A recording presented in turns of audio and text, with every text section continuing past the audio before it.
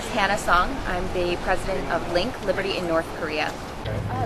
So, a group of us are here um, partnering with an international uh, campaign called Save My Friend. And the idea of this is to protest the Chinese government and ask them to, asking them to release 30 North Korean refugees that are currently uh, arrested and are uh, scheduled to be sent back to North Korea. And so we're here to ask the Chinese government not to repatriate these uh, 30 North Korean refugees.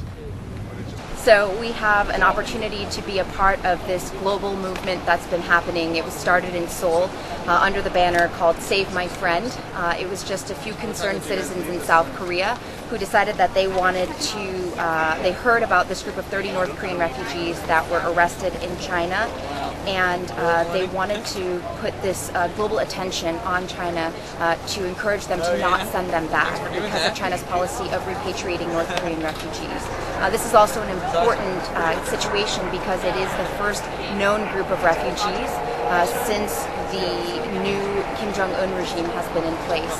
And so from what we have heard from North Korean refugees uh, and people still in the country, uh, they've told us that they've been warned by the government that there will be uh, extreme punishments for individuals who try to escape or who have escaped. So.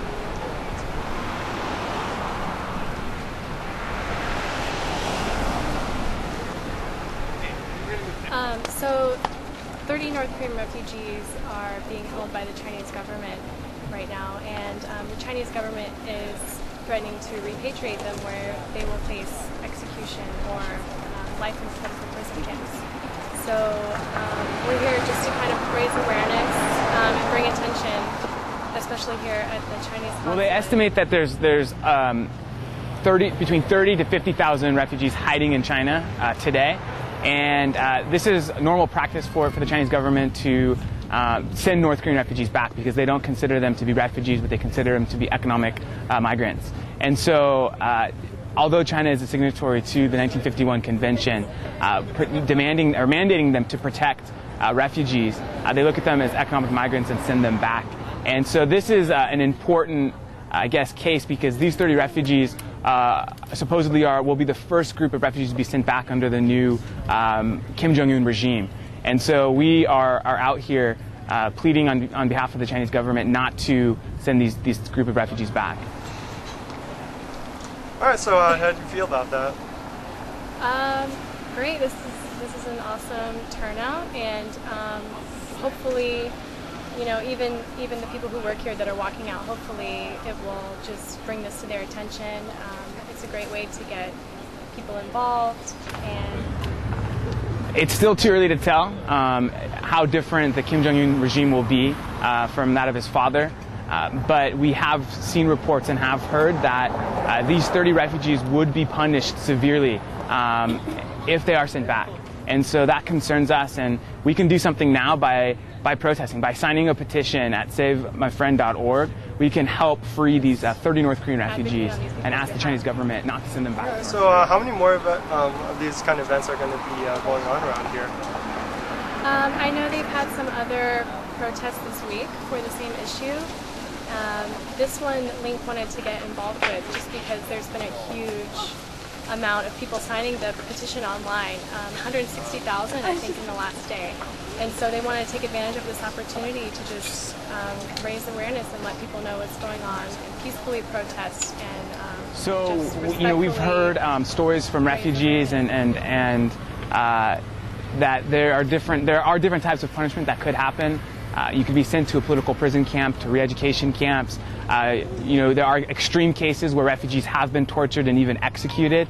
Uh, and so uh, we're not exactly sure what potentially um, can happen, but we know that uh, that this, this case is very serious, that the case for specifically these 30 North Korean refugees is serious, and it's even been threatened that up to three generations of these refugees' families could also be imprisoned um, and, and perhaps even executed. And so this is a, very important situation that we can advocate for now. Okay. Now, uh, basically, basically, what do you feel that the average American uh, would uh, know about this sort of issue? Or how much do you think they would know? So I think the average American usually associates North Korea with um, nuclear bombs um, and military aspects, but um, what we wanted to do with this peaceful protest is just make it a real human issue.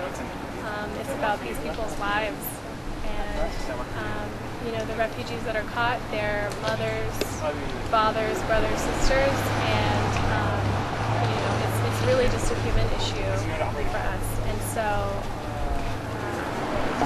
so I think I think usually people think of North Korea in a negative light, uh, but the people of North Korea don't deserve this.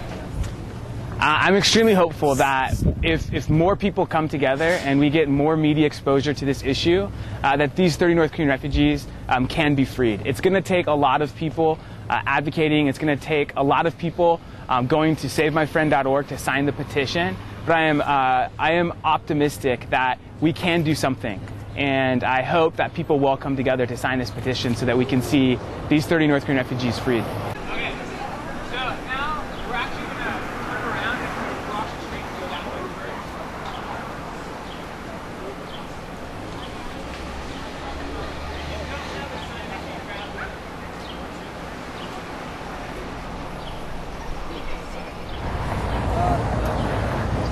We've, uh, you know, we have learned and heard uh, that the UNHCR, so branch of the UN, uh, United uh, United Nations High Commissioner for Refugees, uh, is working in China, uh, but does not have access to the border region where North Korean refugees are fleeing.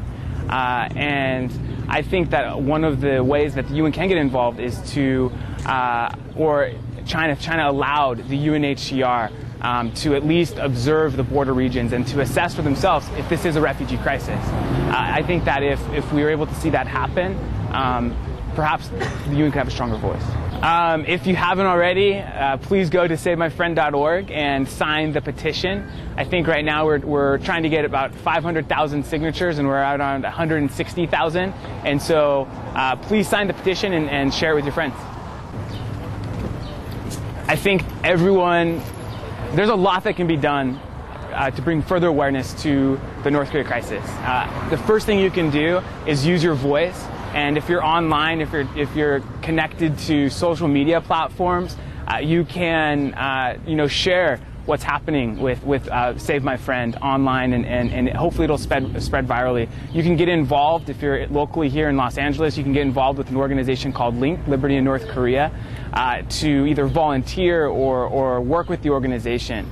Uh, but I think it starts with at least telling one or two people about what's happening in and around North Korea, and hopefully from there uh, we'll see uh, the message spread and, and we'll see more people get involved. Yeah, if you're interested, they're staying over here. Yes. Yeah. They're, they're, they got everything over there.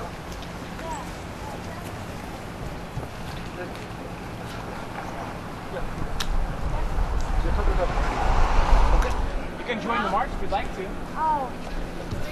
Sure. I'm somewhere at the grocery store. Oh, okay. I, I do so believe this. It's just so long. Um, We're, we're gonna march up and then round back. We'll back in like five minutes. Um, there's